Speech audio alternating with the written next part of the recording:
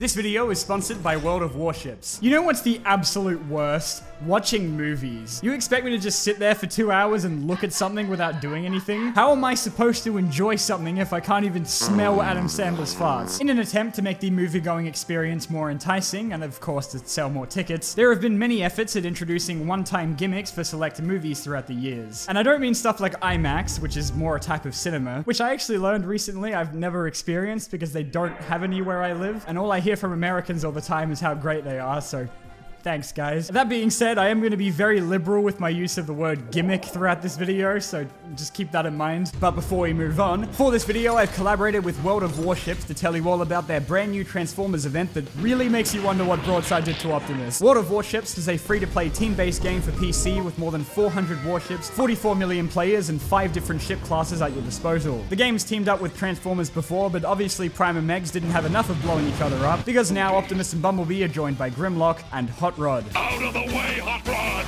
While Decepticons, Megatron, and Rumble have now recruited Soundwave after remembering that none of his other cassettes can swim. Oh, and Starscream's there too if you've ever wanted to live out your dreams of being Galvatron. And of course, I've got a promo code for you all. Pick a side and use either Autobots or Decepticons 2021 during registration to unlock 1 million credits, Grimlock or Soundwave to command your ships and cause immeasurable amounts of property damage, a specific Tier 5 premium ship for either side with names I can't pronounce, as well as 20 ship camos to deck out your boats. This is a limited time only event though, ending on October 21st, so if you want to get in on blowing up Starscream and don't want to miss the boat, then be sure to check out the description for the links and codes you need. And now back to the video. Many things that I think would have originally been considered gimmicks have now become a widespread part of the film industry, like Toy Story being an entirely computer generated film, paving the way for that to be the only type of animated movie Hollywood would make for the rest of time.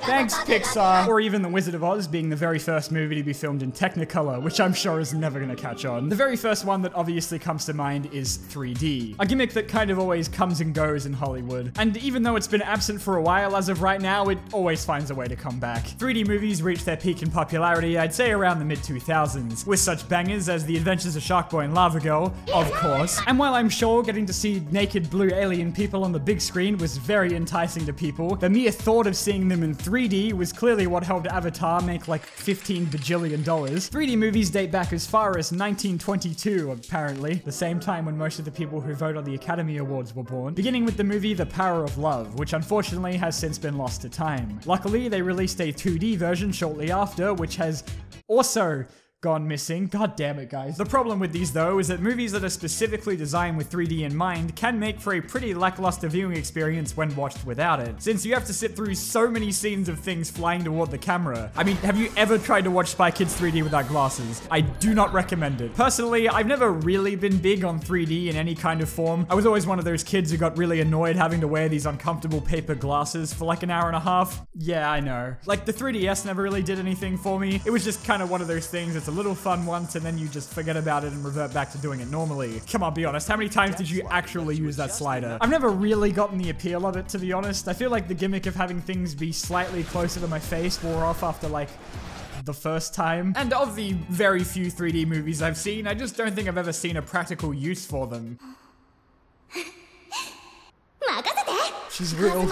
She's finally real. With that being said, I haven't actually experienced a 3D movie since I was like 11. And I was very keen to refresh my memory for this video, but cinemas just aren't showing them at the moment. And I never thought that would be a problem for me, but here we are. Of course, the natural step from there was 4D, which introduces even more interactivity like vibrating chairs and fans, though these tend to be less widespread since you need a specially designed cinema for them to work. Aside from in theme parks, you mostly find these at carnivals or in arcades where they'll just make up some kind of dimension to make it sound impressive. You are now entering 7D. I remember being taken to see Spy Kids 4D in cinemas once. God, I owe my grandparents an apology. And you were given these scratch and sniff cards called Aromascope, where it told you at certain points in the movie to use in order to smell what was happening on screen. And because this is a Spy Kids movie we're talking about, I can't say I'm surprised to find out that three out of eight of them were poop and snot related. There was this 4D Shrek film I got to see at Universal Studios once where like you actually got to feel Shrek's snot covering your face. It was just a great experience. In order to talk about movie gimmicks when they were at their most abundantly popular, we're gonna have to go back a bit. Generally, gimmicks from back in the day were more concerned with how they could involve an audience in the movie, and there are just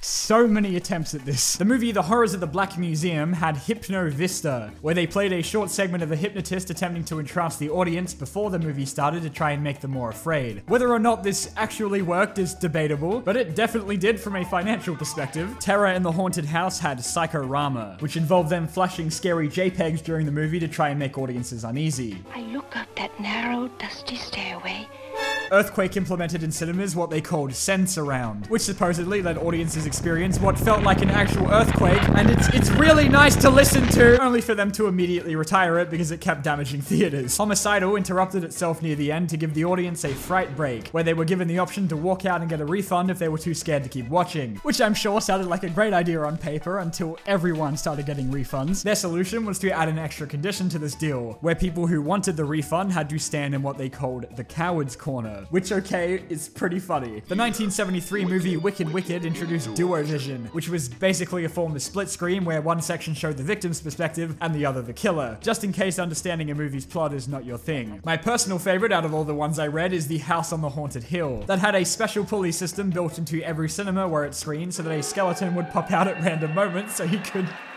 Look at him go! The strange marketing gimmicks that have been used to advertise movies throughout history are an entirely different topic I don't want to get into because we'll be here forever, but I did want to mention the movie Macabre, that promised an $1,000 insurance policy for anyone that died of fright while watching it. And as hilarious as this sounds, they actually specify that it didn't apply to anyone with any pre-existing medical conditions or anyone that committed suicide just in case it actually happened.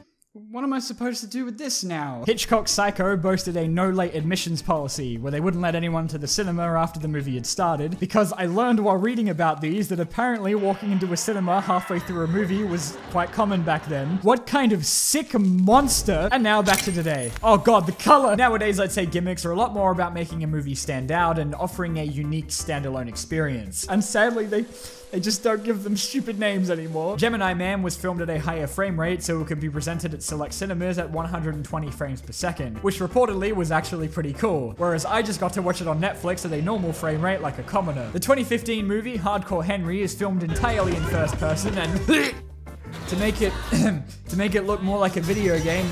it's honestly pretty impressive how they were able to I've talked about these next two before, but may as well mention them anyway. Unfriended, which I'm sure we're all quite familiar with on this channel, takes place entirely on a Skype call, where it was filmed with each actor recording on a computer in separate rooms. And in 2020, during the COVID pandemic, when no one was allowed to go outside, thank God we're all done with that now, right?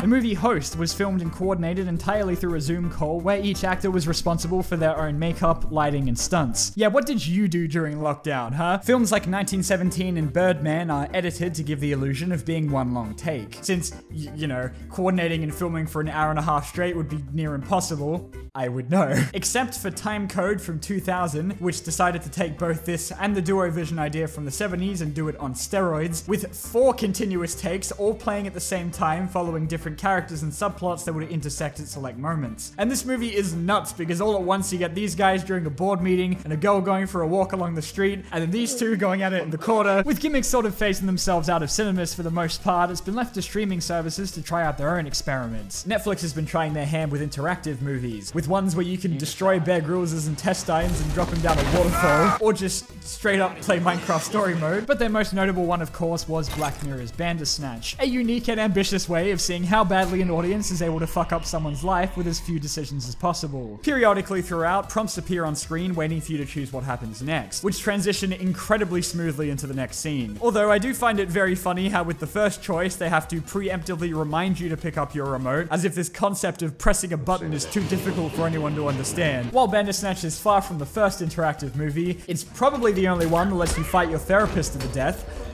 so it has that going for it. It's a really cool idea made even more impressive by the way they had characters occasionally acknowledge when you were repeating a choice, but honestly, I did come away from it feeling like something was missing. In spite of being one of those idiots who felt like they had to see every single possible choice before I could turn it off, even afterwards, something about it just felt incomplete when compared to a normal movie. Yes, I am very pretentious, how could you tell? Interactive films were being made as far back as the 60s, with the horror film Mr. Sardonicus asking audiences to vote for the fate of the villain at the end. But this was actually all bullshit bullshit because the vote was rigged and he just dies anyway, and they never actually made a good ending. Clue from 1985 had three alternate endings that changed the identity of the killer issued to different theaters, meaning you might have had to rewatch the movie several times in order to get the proper one. But there was no way of knowing what one you were going to see, so you would have had to sit through the entire thing again only to get the same one. It'd be like buying a Happy Meal over and over just to get a different toy, which I've definitely never done.